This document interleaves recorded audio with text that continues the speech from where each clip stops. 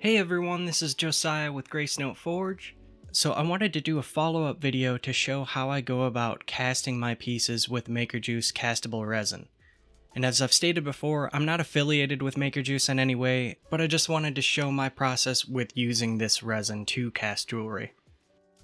I'm going to be casting this heart charm design that I made in Blender, and if you're interested in seeing how I went about designing this, uh, you can check that out in this previous video. So for whatever reason in the past when I've tried to print with this resin, I've had some difficulty with having wax actually stick to the piece, which is needed in order to attach sprues for casting. So just to make my life a little bit easier, I'm actually going to be modeling the sprues along with the piece. And you can see me doing that using the same curve profile editor as I used in order to actually make the charm itself. And with these sprues, I'm kind of going through and really, really over engineering uh, what's needed in order to cast this piece. But I wanted to make sure that I have a smooth transition for the flow of metal and have the sprue attach in areas that are really easy to clean up after casting. And once I have the sprues in place, I'm just going to go through and convert them to mesh in order to combine them with the charm itself. And I'm actually going through with the sculpting tools in Blender to just adjust the parts of the mesh that are connecting with the charm. And this is just done to make sure that the flow of the molten metal doesn't get interrupted by any sharp edges during casting. And you can see that I'm just kind of going back and forth with the deform brush in Blender to kind of push the ends of the sprue to where they're mostly connected to the part of the curve, and then extending the sides out so that this area doesn't become too narrow for when the metal flows into the charm.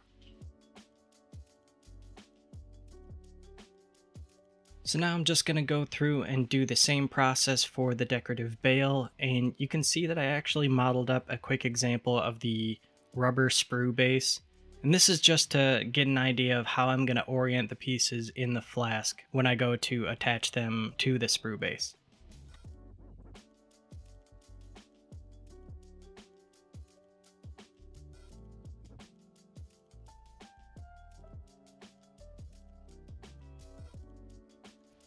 And just like before, after I convert these pieces to a mesh, I'm just going to go through with the sculpting tools and adjust where they're connected to the piece. Um, just to make it easier for cleanup. I don't want the sprues to connect to the face of where our decorative pattern is. And this will just make it easier for when we go to cut these sprues off and finish up the piece.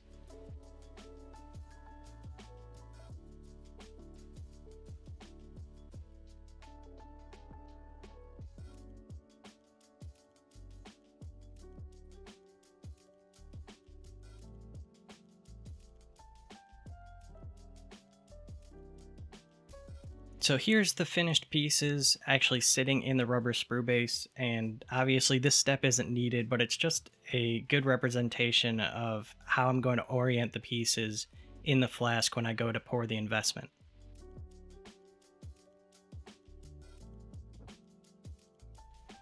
And I'm going to try printing a few of these charms some are in a couple of different sizes and some are without the sprues themselves and this is just to kind of experiment with printing and with casting these pieces. And I'm going to be printing these pieces using the Elegoo Mars and the Chitubox slicing software and I'm using the same print settings that I used in my review video for MakerJuice Wax Cast Resin. If you want to check that out, the link is in the description.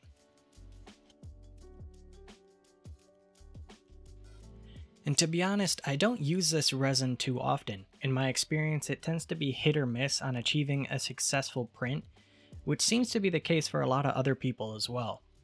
And because the exposure time between layers needs to be so long, there's more of a chance of damaging the LCD panel on the printer. So if you do plan on trying this resin, just keep that in mind.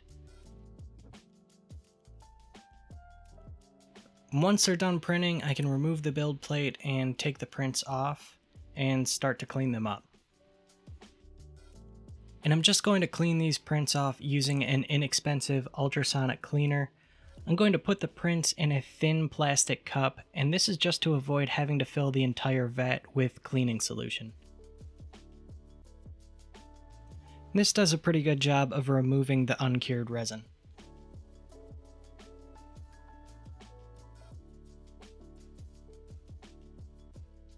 So most of these prints ended up having issues and I was only able to get one successful print with the sprues attached. And even printing with heavy supports, a lot of the supports separated from the prints, and in some areas of the prints it was barely attached at all. Some of these issues might be due to the fact that this resin is very flexible and most of these prints are decently thin, most of the bails seem to have printed just fine, and I'm sure this is something that can be fixed by just tweaking the support settings, but for now I'm just going to cure the prints that can be salvaged.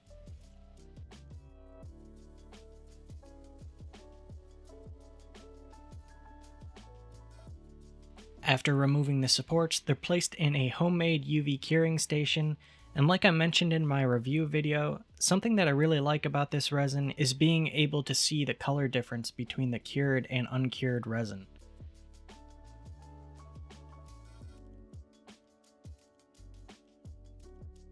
Once the pieces are cured, I can add some wax to my rubber base in order to attach the prints.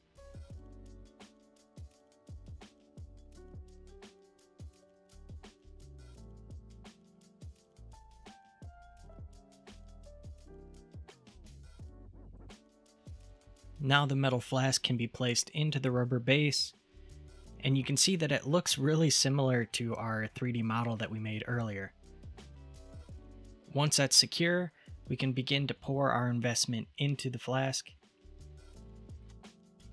And after the investment is cured and the rubber base is removed, I'm just going to go around the bottom end of the flask and clean up some of this investment and this is because I'm using a vacuum table for casting and I want to make sure it has a good seal around the rubber gasket.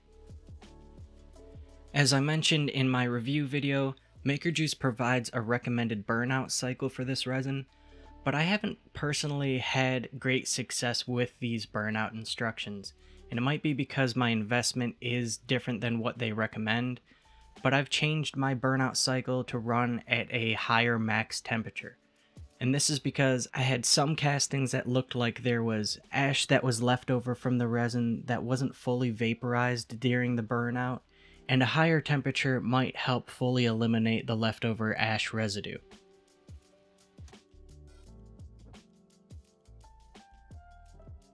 I'm going to be casting with sterling silver that's a 50-50 mix of new and recycled casting grain and this is recommended for most castings because new casting grain has additives that make silver flow more easily that will burn out after casting.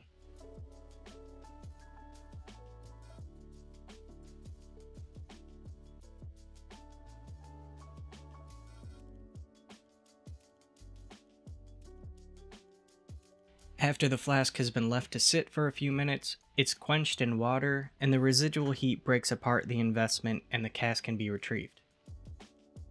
And here's the raw casting. Some of the layers from printing are visible, which might be able to be fixed by changing the layer height settings, but they should clean up just fine. Most of it came out pretty clean, but there are a few spots that look a little rough. And there's a lot of things that could cause this. It could be from leftover ash residue that wasn't fully evacuated from the mold, or from many other problems like the temperature of the flask rising too fast during burnout. You can also see that the thin end of the bail has some imperfections as well, and it looks like the silver was starting to solidify before it was fully able to fill that area. And for me at least, each new casting comes with some trial and error to figure out the correct method of casting.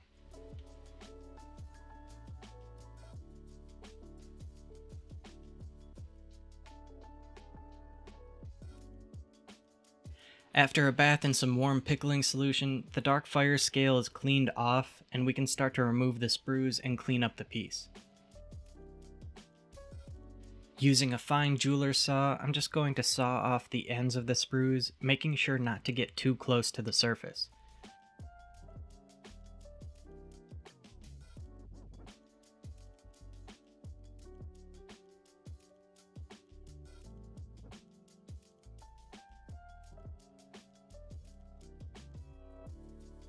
The remaining ends of the sprues are then filed away using needle files, taking added care to follow the contours of the piece and smooth out the surface.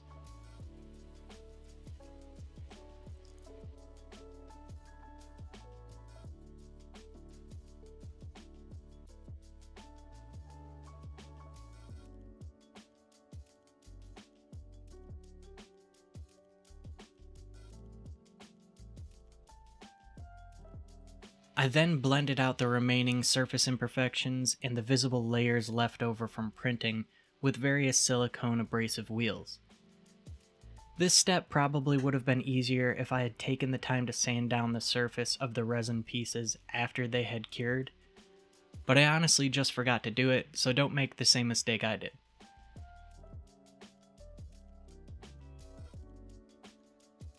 I took a thin strip of fine sandpaper to clean up some of the hard to reach areas, and filed away the sprue marks on the bail in the same way that I did with the heart charm.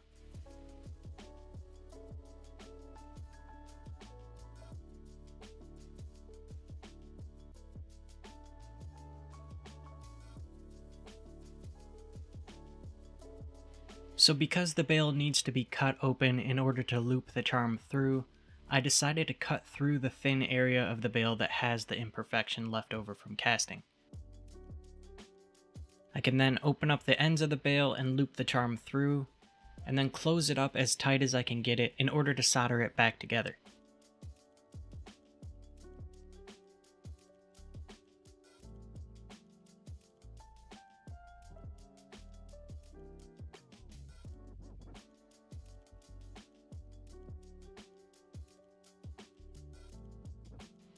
I'm going to add a decent amount of silver solder to reseal the bail and fill any small imperfections in that area that weren't able to be filed away.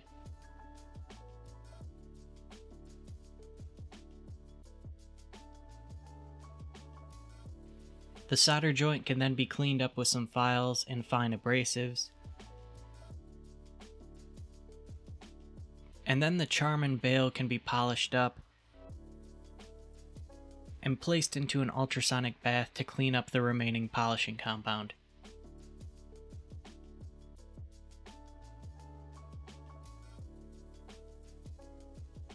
And here's the finished piece. Let me know what you think, and if you have any experience with casting and have some tips on how to get some good resin casts, leave them down in the comments. Thanks for watching.